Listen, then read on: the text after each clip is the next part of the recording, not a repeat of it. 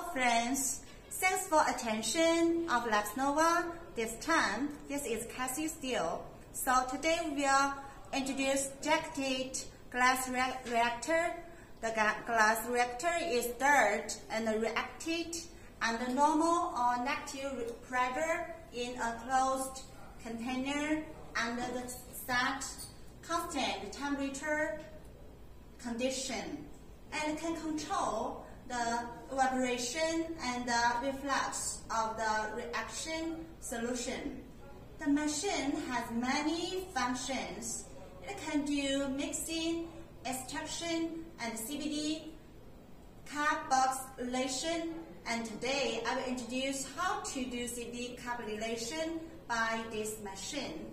If you want the glass reactor work re regularly, we need the whole set of glass reactor.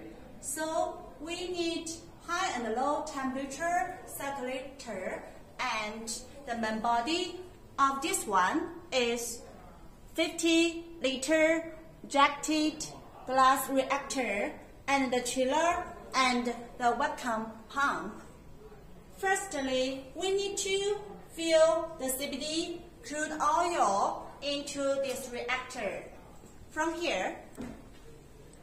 And we can smooth this feeding panel on this part to feed the CBD crude oil.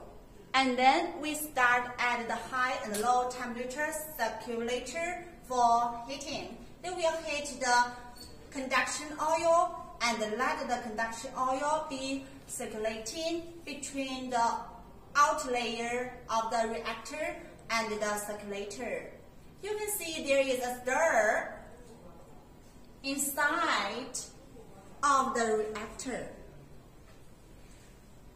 At the same time, with heating, we need to start to stir to mix the crude oil.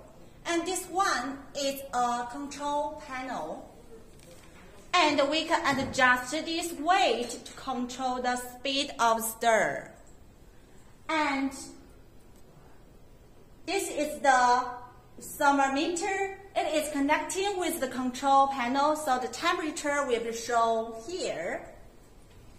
If the temperature is too high or too low, we can adjust the same setting at temperature on the circulator.